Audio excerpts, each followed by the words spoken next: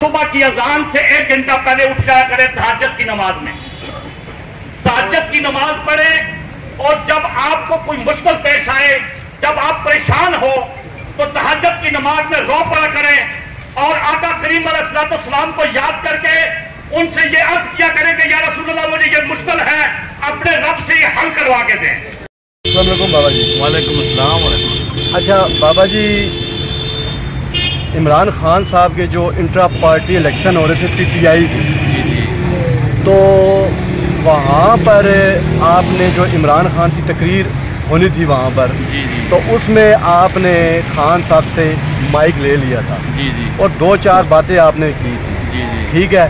जिसके बाद आप सोशल मीडिया पे काफ़ी वायरल हो गए। हम्म, एक तो काफ़ी व्यूअर्स थे आपके देखने वाले जाने वाले हम्म। जिन्होंने काफ़ी आपके बारे में कमेंट्स पास किए थे लाइक भी आपको काफ़ी किया और कम बेश आपको तकरीबन साठ लाख लोगों ने देखा था और कमेंट्स भी पास किए थे जी जी तो काफ़ी लोगों ने पूछा कि बाबा जी रहते कहाँ हैं पहले तो आप मुझे बताएँगे कि आप आपकी रहश कहाँ पर है आप कौन से सेक्टर में रहते हैं इस्लामाबाद के दूसरा जो आ इमरान खान साहब के ऊपर कातलाना हमला हुआ है उसके बारे में आप अपने व्यूअर्स को बताएँगे। पहले तो आप मुझे बताएँ कि आप, आपकी रहाइश किधर है और आप क्या करते हैं? बिस्मिल्लाहिर्रहमानिर्रहीम।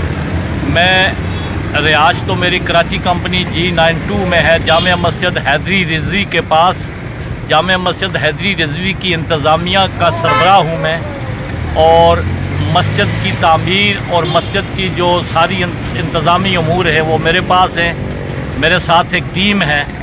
वो पूरा इंतज़ाम जाम मस्जिद हैदरी रिजवी का और साथ दारूम है, वो चला रहे हैं। और इमरान खान साहब जो हैं, उनके ऊपर जो काताना हमला हुआ है, वो एक तहरीक पाकिस्तान का तसलसल है। कायद अजम रहमत पर भी काताना हमले हुए थे। और उनके इर्द गिर्द, कायद अजम रहमत के इर्द गिर्द भी अल्लाह के वली काम कर रहे थे, आसमानों के फरिश्ते काम कर रहे थे। और जो इमरान खान पर हमला हुआ है, ये भी उसी का तस- तस- तसलसल है। इमरान खान ने इस कौम और मुल्क को एक करने की कोशिश की है और लगे हुए हैं। इसी सिलसिले में उसके सामने रुकावट बनने के लिए उस पर कातलाना हमला, ये माफिया का आखिरी हमला था।